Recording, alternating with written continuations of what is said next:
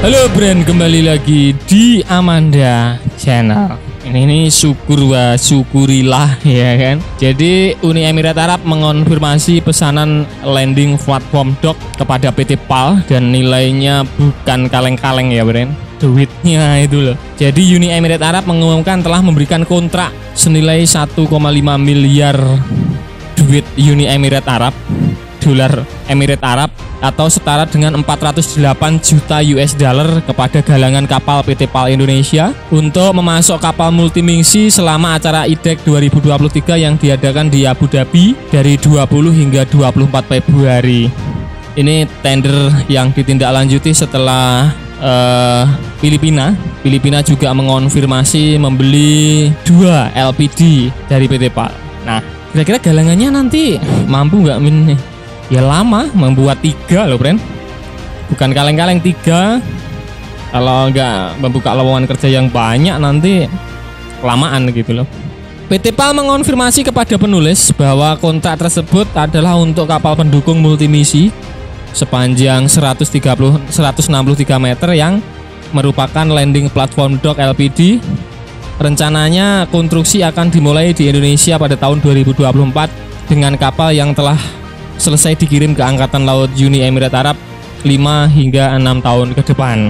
Kontrak diumumkan tanpa nilai pada Juli 2022 sebagai bagian dari perjanjian mitra kemitraan ekonomi komprehensif antara Indonesia dan Uni Emirat Arab meskipun sumber mengatakan kepada penulis pada saat itu belum selesai, selesai karena uh, pembelian dari Uni Emirat Arab itu sebelumnya kan akan membeli tahun lalu cuma kan nilainya belum di belum di nilai kontraknya belum diumumkan dan sekarang kan mendapatkan alokasi 408 juta US dollar.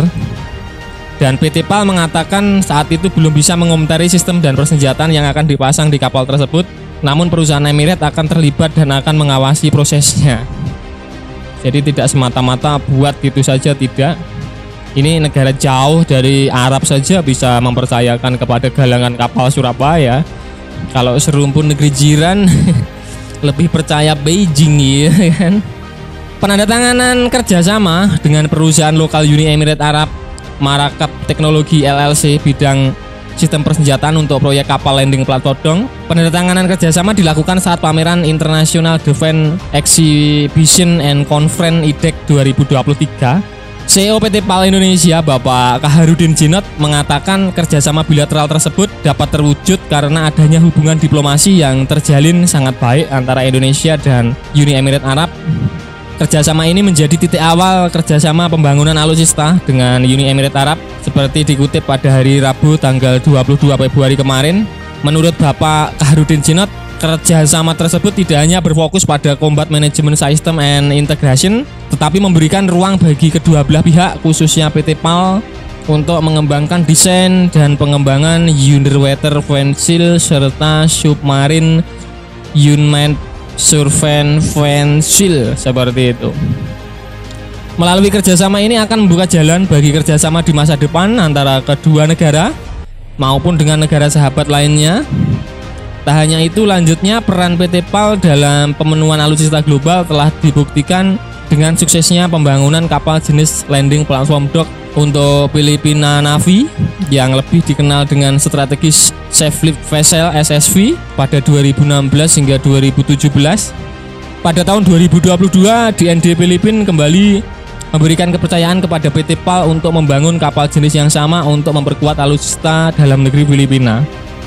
Jadi usut punya usut uh, pertimbangannya juga sampai Filipina juga.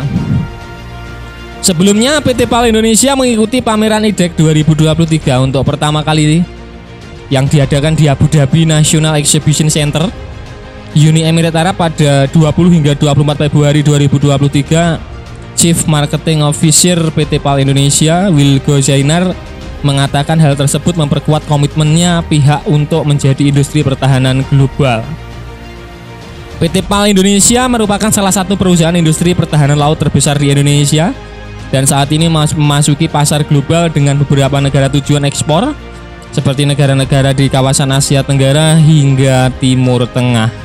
Tepuk tangan lah yang meriah buat PT PAL Surabaya ya kan? Yang mampu menjual produknya mencapai jutaan dolar loh friend ini bukan kaleng-kaleng. Nah sebelumnya atas terjadinya kontrak ini sebelumnya Presiden Jokowi juga sampai ke Uni Emirat Arab tepatnya pada 1 Juli 2022 untuk menyaksikan pertukaran dokumen kesepakatan kerjasama Indonesia Uni Emirat di sejumlah bidang sebelum sebuah perjanjian kerjasama yang ditandatangani meliputi bidang mangrove, kelautan dan perikanan hingga industri pertahanan. Selain Presiden Jokowi, Presiden Uni Emirat Arab Sheikh Muhammad bin Zayed bin Sultan Al Nahyan turut menyaksikan kegiatan tersebut tulis tulis Biro Pers Media dan Informasi Sekretariat Presiden. Pertukaran dokumen Indonesia Uni Emirat Arab Comprehensive Economy Partnership Agreement dilaksanakan oleh kedua negara di Istana Al Seti Abu Dhabi nota kesepahaman yang dicapai dalam perjanjian kerjasama antara Indonesia dan Uni Emirat Arab bukan hanya uh, tentang kapal pertahanan saja ada yang pertama nota kesepahaman manajemen proyek bersama tentang mangrove antara Kementerian Koordinator Bidang Kemaritiman dan Investasi Republik Indonesia dengan Kementerian Perubahan Iklim dan Lingkungan Persatuan Uni Emirat Arab. Kemudian ada protokol perubahan nota kesepahaman antara Republik Indonesia dan Persatuan Uni Emirat Arab tentang kerjasama kelautan dan perikanan.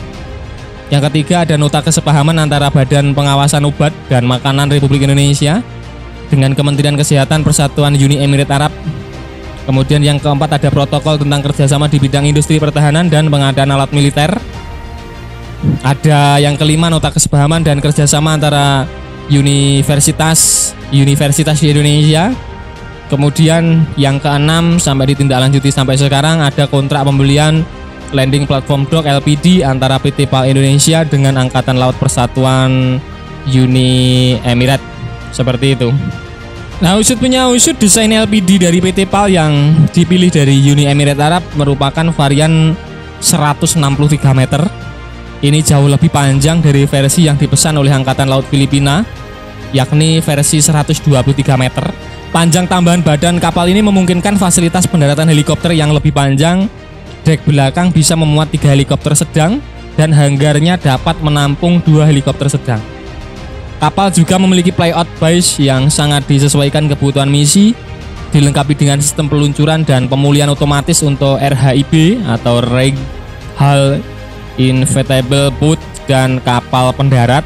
Kapal dapat dipersenjatai dengan meriam 76 mm, stasiun senjata kendali jarak jauh RCWS dengan kanon 20 mm atau 30 mm, sistem senjata anti pesawat jarak dekat dan lain sebagainya. LPD 163 ini berbobot perpindahan sekitar 12.500 ton, lebarnya 24 meter dan mempunyai draft 6 meter Kapal ini memiliki kecepatan jelajah 15 knot dan kecepatan maksimumnya di angka 18 knot, friend. Seperti itu. Nah, friend, itu tadi pembahasan admin seputar usut punya usup dalam uh, pameran IDEC di Uni Emirat Arab. Angkatan Laut Uni Emirat Arab memesan 6 kapal LPD 163 meter dari PT PAL Indonesia senilai 1,5 miliar uangnya Uni Emirat Arab Ren. Nah bagaimana menurut kalian terkait berita ini? Silahkan baku hantam di kolom komentar. Nah Pren oke sekian dulu video dari Amanda Channel Jangan lupa like, share, komen, dan subscribe